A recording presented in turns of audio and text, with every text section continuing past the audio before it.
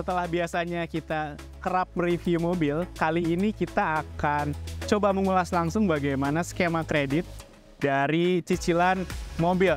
Untuk kali ini karena mobilnya di belakang kita ada Wuling REV, Yes, mungkin kita coba akan ngulas dulu dari mobil belakang ini ya Bunga ya. ya betul sekali. Ini ada banyak penawaran-penawaran yang cukup menarik ya. Yang pertama adalah dari Woli Multi Finance ini sendiri, di mana kalau misalnya yang ada di samping kita ini adalah eh, yang long range. Jadi Wuling REV long range yakni tipe tertingginya di harga 299.500.000 rupiah.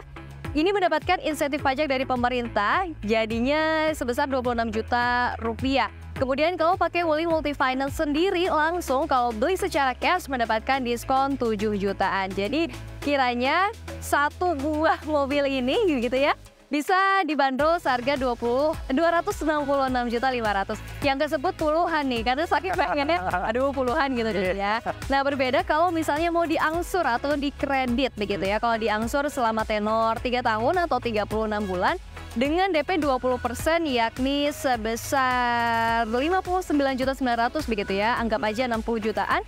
Ini dapat angsurannya sebulannya yakni sebesar 8 juta 700 uh, 82 ribu rupiah Oke. begitu. Nah ini uh, cukup mudah begitu ya, cukup murah jika dibandingkan dengan multi finance lain sebetulnya kalau untuk DP-nya. Iya. Karena uh, BCA dan Mandiri ini memiliki uh, biaya yang lain-lain nih. Jadi untuk pembayaran di awal atau DP-nya sedikit lebih mahal. Kita lihat ya ini kalau untuk Iya. UI multi finance begitu ya. Nah, kalau untuk BCA sendiri pemirsa dengan DP yang sama yakni 59 juta 900 atau 60 jutaan itu tadi eh, ada biaya-biaya lainnya seperti ada biaya admin, kemudian asuransi dan lain-lain. Kalau tenornya sama nih Fer, 3 tahun atau 36 bulan, maka DP total DP yang dibayarkan yakni sebesar 87 juta 925 ribu rupiah ya.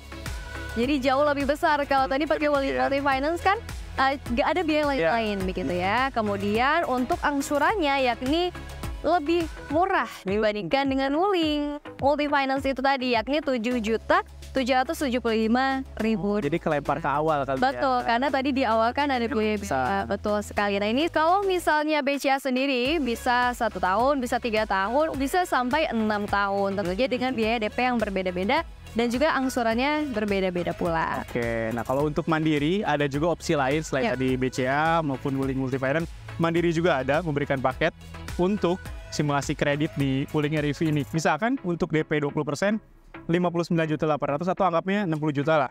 Dengan tambahan fidusia sekitar 580 ribu dan admin 2,2 juta. Lalu ini untuk yang tenor 36 bulan atau 3 tahun ya, ada asuransi eh, sekitar 12 juta 700 sehingga total yang harus dibayarkan 72 juta ya. Dan untuk kredit per bulannya selama 3 tahun tenor tadi itu 8,1 juta.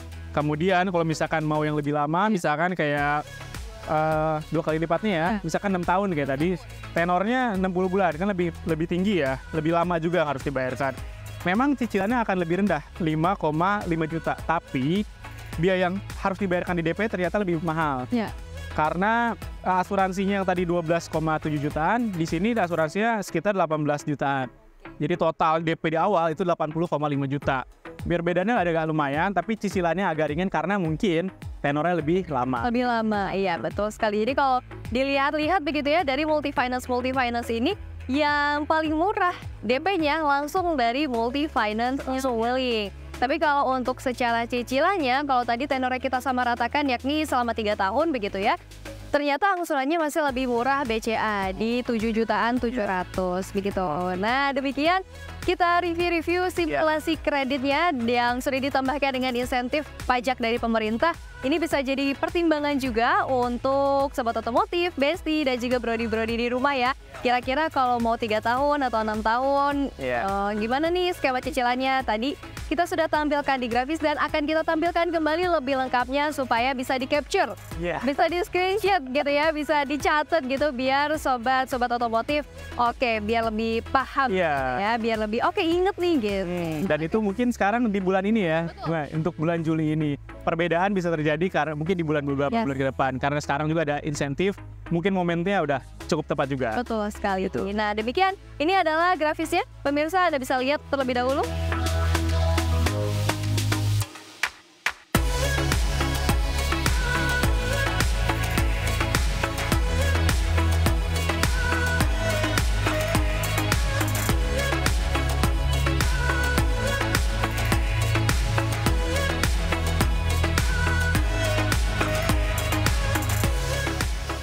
Oke, demikian review simulasi kredit. Semoga membantu sobat otomotif untuk mempertimbangkan nih. Kira-kira mau beli yang mana dengan tenor berapa? Oke, sekian dari kami CNBC Indonesia. Beyond Business.